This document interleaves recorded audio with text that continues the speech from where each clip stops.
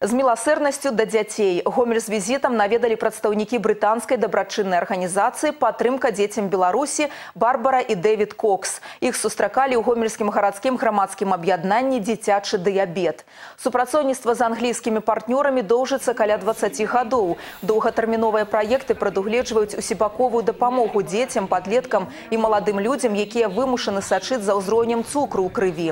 Пры садзейнічанні сяброў з Брытаніі набываюцца сродкі самакантролю контролю медпрэпараты і вітаміны арганізуецца аздараўленне за мяжой грамадскае аб'яднанне дзіцячы дыябет дапамагае больш чым 700 дзецям і падлеткам амаль палова з іх выхоўваецца ў няпоўных сем'ях падчас сустрэчы каардынатарам праектаў барбары і дэвіду кокс уручаны падзячныя лісты ад гомельскага гарвыканкама таксама адбылася перадача падзячнага ліста ад гомельскай гарадской грамадскай арганізацыі дзіцячы дыябет брытанскаму монарху каралеве елизавете другой дети в течение 20 лет оздоравливаются в Великобритании.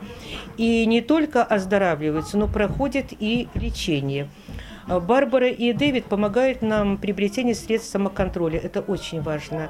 Средства самоконтроля, если говорить, это жизнь наших детей.